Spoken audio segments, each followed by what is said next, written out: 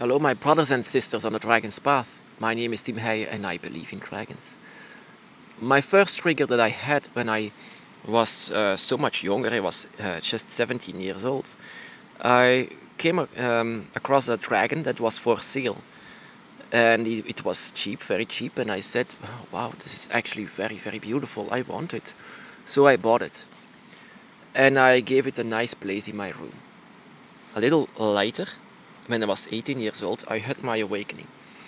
I had my awakening and I didn't want to admit it back then, but in fact it was an awakening. I saw the dragon, I felt the dragon, it was all about the dragon. And I was just. I, I had a trigger. I had a trigger, and that is what a lot of people do. Have uh, they have uh, triggers before they go on the dragon's path, and this trigger is mostly caused because of a of of an image that they see of the dragon. Um, most of the people have this from movies or games of, of uh, dragons, where dragons are involved. Um, like in games like in Skyrim, even though they kill dragons in it, um, they can have a trigger because of it. Um, but in fact, I had this, this from uh, an image that I had that I bought, a very cheap image that I still have on my altar today. The beginning of all, the beginning of everything.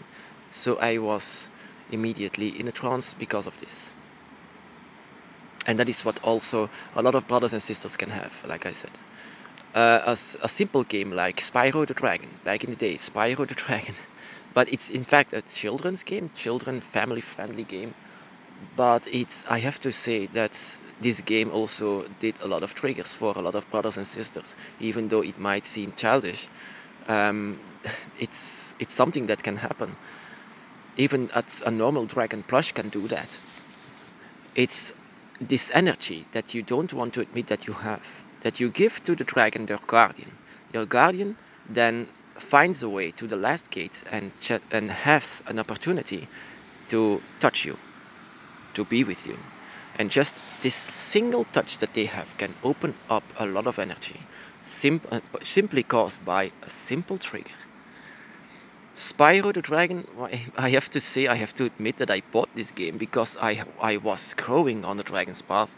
It was not simply called Spyro, it was Legend of Spyro, a more epic game where, in fact, I to, to my surprise, they had a lot of interesting dialogue about um, about balancing light and dark. I don't have it from this game, by the way. I just I I knew this before, but it's because it was because I heard it for the first time and told by Dragon Images that I was surprised that I even wondered who made this game, who made it, who made all of these things that dragons have. For for example, being close to the elements and have these powers of the elements over the elements that they can use, that they are magical. Um, it's something that didn't that wasn't set at a lot of times. I mean, most of the time a dragon is portrayed as a fire-breathing dragon that causes, uh, causes uh, havoc everywhere. But uh, or it was a most uh, childish dragon that is helping them in their quest or something like that. But there it was more like the dragon is the hero and the dragon is saying all of these wise words. That surprised me because I also bought a game that is called The Hobbit, where, of course, the well-known um, um, Smaug, the dragon, was based on uh, the dragon from uh, yeah, the dragon god Fafnir, the dragon god of fire. In fact, that is what almost everyone knows. But um, in fact, uh, this dragon that I saw for the first time in this Legend of Spyro, it was, even though it's also made for children, but it was in more of a Lord of the Rings kind of style with dragons instead of humans. And I played this game with a lot of wow. I, I'm really excited to know what's going on, what will happen. And that is something that a lot of people can have these triggers, triggering your own draconic energy that lies asleep within, and uh, giving your guardian the opportunity to come to you. This only makes it more stronger. This only is the beginning then from everything. So yeah, a simple video game, by the way. I'm uh, of course there are elements inside of it that makes it family friendly and uh, even childish at moments. But it's not about that. It, uh, like I said, your trigger can also be caused by a simple dragon plush that someone holds inside of their hand. And I I try to do with my videos actually the same thing to cause a trigger with the people who have the draconic energy and wants to admit that they want to be on the dragon's path. I I saw this um, with in my Facebook page where I write about the dragon every day that a lot of people have been triggered about this. So and to say that this can be a spiritual path, this can be something that you follow in your life, this can be something that will grow eventually, this is something that you can be a dragon, Wiccan, a dragon witch, or just someone who lives on the side of the dragon with all of their wisdom and power and energy and all the philosophy that uh, belongs with it. So actually I was a little bit embarrassed back in the day because I was not like now.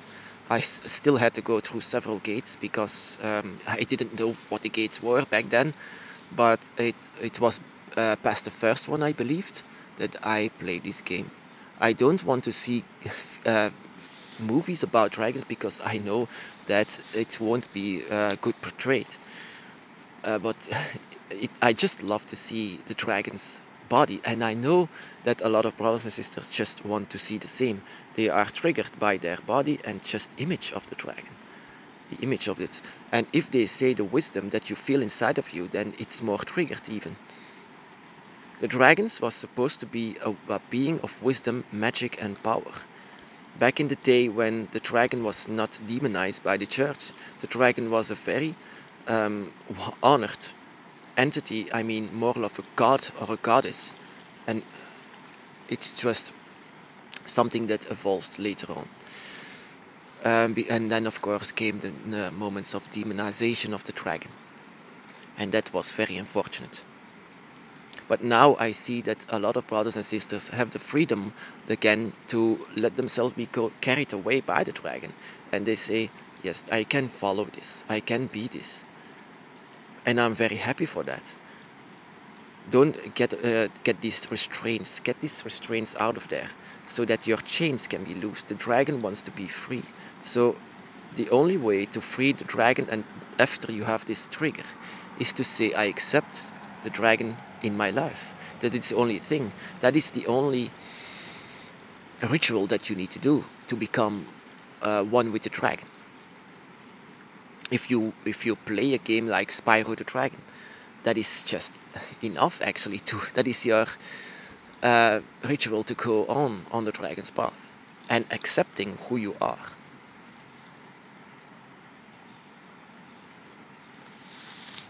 So let no one tell you what you have to do. So let uh, forget about everything. The dragon is very, very real, and the dragon is with you. So there is no reason to hold back. Why should you? My brothers and sisters, be blessed.